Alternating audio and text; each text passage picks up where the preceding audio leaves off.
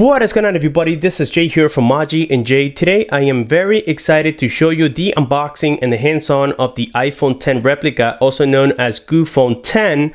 Now this came directly from China and it was scheduled to arrive on September 10th, but unfortunately due to the fact that well we had Hurricane Irma here in South Florida, I wasn't able to complete the unboxing on time and I do apologize for that. But now along with this box came the Samsung Galaxy Note 8 replica. This is the one-to-one -to, -one to the original. So I'm just waiting for the original to arrive so that way maybe we can do a one-to-one -one comparison uh, with the GooPhone Note 8. Anyways, looking at this box in which we don't know exactly how it's going to look, we are assuming that the original will have exactly the same design. On the side, we see that typical iPhone logo, and the same thing goes here on the right side. On the top, you got the Apple logo, and towards the bottom, we can see that Apple logo once again. Now, according to this picture, I am assuming that I got the black color version, but now when we look here on the back side, by the way, these are the specifications, but when we look on the bottom side, it says that I got the gold version, 100 128 gigs, which is absolutely fake. As you guys can see, it came with a pretty nice wrapper. I mean, you can easily tell here by the imperfections that this is not the original, but at least guys, they are trying. And of course, the Chinese usually keep persisting with trying until they perfect these replicas 100%. So anyways, let's go ahead and take a look inside. Here we can see the manuals are not aligning well with the box. So that's an indication that you have a fake on here. Then inside we got a D device with bubble wrap and of course Apple will never include bubble wrap on their devices. We know that already. And this is actually a lot smaller than I anticipated. I thought I was going to be getting a much bigger device. Now, I'm assuming that maybe this is not a true 5.8 inch display. Maybe it's a 5.5 at the most. So let's go ahead and set it aside for now so that we can look at the accessories. We got those typical uh, earphones or earbuds you can see that this time on the back side, it doesn't come with the Apple logo, but the front looks almost identical to the original. And to be honest with you guys, these sometimes don't have the best quality, so don't expect anything like the original, of course. Uh, we got the uh, lightning cable, and this time it came wrapped very closely like they do with the original um, iPhone. And then here we have the wall charger. And of course, that's all we get inside of this box. And now to give you guys a better view, I went ahead and removed the front screen protector. And as you guys can see, there is a cutout um, simulating to be the original display. And this is where I'm telling you guys that they knew all along exactly how the iPhone 10 was gonna look like, even though it was just rumored. But these guys know it before it goes out into being rumored. And this information is provided to me by my old friend from China. And you guys know exactly who I'm talking about.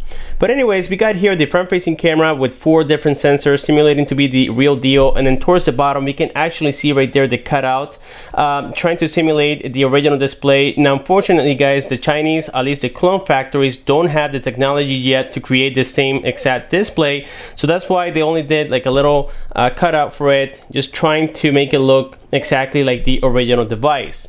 On the back side, again, I removed the protector, which is just one that came included with the device. And basically, they were just covering up the Apple logo and the iPhone logo here towards the bottom side.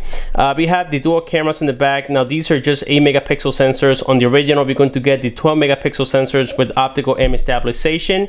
And something I like about the new iPhone 10 is the fact that now you can record at 1080p 240 frames per second. That's absolutely insane. Uh, we got the um, LED flash on here towards the right. We find the power key. On the bottom side, we have the lightning port with the loudspeaker and the microphone.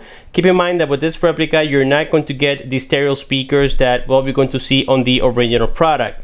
We got the volume rockers here on the left hand side with the silent switch. On the top, you got nothing here. It's absolutely plain and that's pretty much for the entire body. Now, just to mention a few specifications, it comes with the MTK6580, 1 gigabyte of RAM, 8 gigabytes of internal storage, and I believe the Mali is the T400, so the specifications are a little bit mediocre. And also, this is going to simulate to be running iOS, but in fact, it's going to be the Android Marshmallow. But I do like the fact of how well they are able to come up with the design and make it exactly the same as the original, for them, believe it or not guys, it must be very hard to get this kind of information leaked and then create a clone from it without having the original side by side. So here we can see the Apple logo with the black background. And by the way, guys, I know that I mentioned that this device uh, or the box said that I was going to get the gold color version, but in fact, it was the black one, in which is my favorite color. Uh, so here we have the lock screen already. And something I immediately noticed and I do like is the fact that they never got rid of that home button on the bottom side, even though this is virtual. But I thought that Apple was going to have something similar or at least the option to have it on there and maybe on a software update they can actually create it and bring it back to the device but we don't know that as of right now. But again on the replica we do have it and the cool part is that you can't trick it by clicking on the sides. You have to click exactly on the uh, circle otherwise it won't work. So here we can see that very nice animation towards the bottom side here. When we click it it has that very nice animation uh, switching here colors from being black to that cream color. Let me show you that again you can see that it looks very cool. Um, here we have the settings on this device and they are quite smooth and fast to be honest with you guys. Now something I noticed is that the battery is depleting quite fast because I have completed different cuts and I had to turn off the device on and off, on and off until I got the proper uh, clip for it. And yes, the battery does deplete very, very quickly. So now let's go here into general. Let's go into about device and this is where we're going to find all the fake stuff. This one is uh, telling us here that it has 32 gigabytes of internal memory, but then again on the box it says 128. Now these are the details that they need to fix in order to make their devices look a little bit more authentic in my opinion. Uh, the version of the iOS is 11 on this uh, replica and we know that that's absolutely fake this is actually running Android uh, the model there we can see it we have a serial number we also have a um, we have the IMEI information on this device. So it looks very very authentic on that behalf. Uh, let's go here back to settings. Here we can see the remaining of the stuff on here. We got uh, touch ID but of course they have eliminated it um, as of right now. So let's go and click on it. Let's pretend oh look at this guys. They have the on-screen touch ID which is absolutely fake. But anyways I'm going to try it just to test it out. Who knows and it works. That will be absolutely remarkable. Let's put in a pin on here. One, two, three, four, five, six. And let's enable it. Now let's go here into the lock screen. Let me put in the wrong one. And actually you guys can see that it is not working as of right now. But let's try the left one. And no, it never works guys is absolutely fake. So yes, we don't have a real Touch ID. Again, that would have been very scary to be honest with you. Uh, we got the battery information on here and the battery, as I mentioned before, is really crappy. Then we have here iCloud, which is basically your Gmail account. We have iTunes on here. We have Wallet and Apple Pay. So let's go here back into uh, Home and here we have the messaging app. There we go. We got calendar. We have photos. We have camera. Now this is the 8 megapixel sensor camera and I won't lie to you guys, the camera quality is actually quite impressive. Barely any lags. It doesn't have optical image stabilization, but just look at the autofocus. I think it's doing a great job so far. So for a device that only costs about $90, I think they definitely nailed it here, at least on the camera side. It doesn't look that bad. I've seen replicas in the past that look really, really poor. So let's go back here into the apps. And the next one we got is weather, which is powered by Yahoo. We have clock. So everything seems to be in English this time. We have maps, and they have used the Google Maps, which is cool. We got videos. We have wallet which again I think is fake. Uh, we have notes, very cool. And now something I haven't checked yet is the control center. So let's go and swipe up. And this is actually the newer version with um, iOS 11.